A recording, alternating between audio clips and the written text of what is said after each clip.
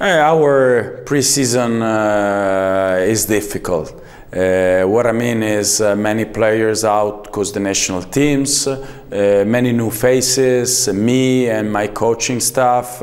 Uh, so we are just at the beginning. We struggle a little bit, but I hope that the last two weeks will be very important to find the right direction in order of the opening game in Italian League and EuroLeague.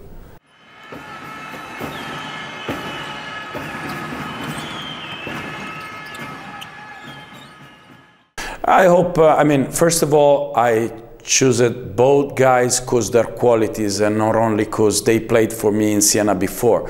I believe uh, they can help me and the team a lot uh, to understand uh, uh what is uh, the, the right page we would like to write together during the season. mentality, technique, offensive and defensive system.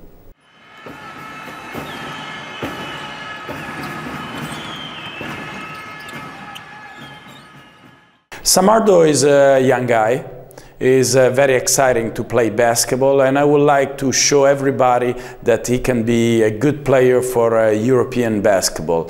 Uh, he's in Milano with a strong desire uh, to become one of the best center in Europe, and uh, what I expect uh, is this guy work hard during the week, month by month, and he will improve and because he needs time to get better and uh, to become more mature and more consistent as a basketball player.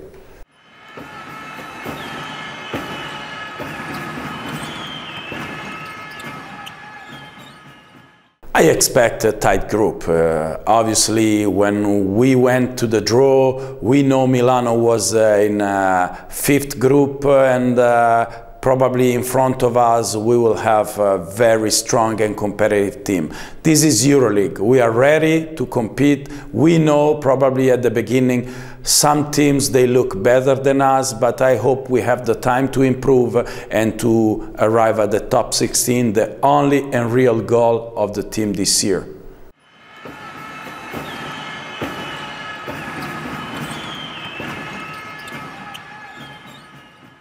I don't think is uh, uh, our season will depend on uh, Final Four in Milano. I believe as a, a, basketball coach that will be a great opportunity for the city, for all our countries to have the Final Four in Italy, in Milano is a great opportunity to show everybody our organization and how the basketball can be uh, the top sport for the country during all the period of the, of the Final Four.